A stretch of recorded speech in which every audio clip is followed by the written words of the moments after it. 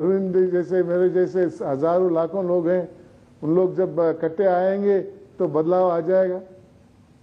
बड़े आरोप लगे हैं अरविंद केजरीवाल पर पिछले दिनों। हमने जब भी आपके तमाम पूर्व सहयोगियों से बात करने की कोशिश की, सबने अरविंद पर अलग अलग आरोप लगाए हैं। सबसे बड़ा आरोप लगाया स्वामी अग्निवेश ने। उनका कहना था कि अरविंद केजरीवाल को अन्ना हजारे की जान की भी परवाह नहीं थी पहले आंदोलन के वक्त, जो पहला आंदोलन जंतर मंतर पे चल रहा था। क्या आपको लगता है कि अरविंद केजरीवाल एक आंदोलन को खड़ा करने के लिए किसी को भी दांव पर रखने के लिए तैयार थे? मैं इस बात से नहीं सहमत नहीं हूँ मानता भी नहीं हूँ। अरविंद केजरीवाल इतनी बुरे आदमी नहीं है। मगर इन इन पे एक आ, अच्छा पॉलिटिकल पार्टी बनाने का इरादा है कोशिश करने दीजिए। मगर अन्ना के खिलाफ वो ऐसे आदमी नहीं है इनके अन्ना का कोई लाइफ के बारे में वो तो हम ज़रूर सोचने वाले हैं।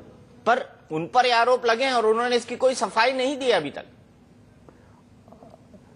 आरोप तो लगाते रहते हैं हाँ, कितनी तरफ़ सफ़ाई दे देंगे हाँ, मैं तो मानता नहीं इस आरोप से।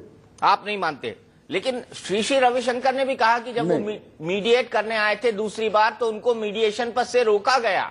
अरविंद केजरीवाल की तरफ़ से रोका गया, ये संकेत भी दिया और उनके एग्जैक्ट शब्द में बताता हूँ श्री श्री रविशंकर के, जब वो जंतर जो रामलीला मैदान का था अनशन, उसकी मीडिएशन करने आए थे, उन्होंने कहा, घोड़े के लगाम मेरे हाथ में नहीं थी। यानी घोड़े की लगाम अरविंद केजरीवाल के हाथ में थी, और अरविंद केजरीवाल उस आंदोलन को वैसा चलाना चाहते थे, जैसा वो चाहते थे।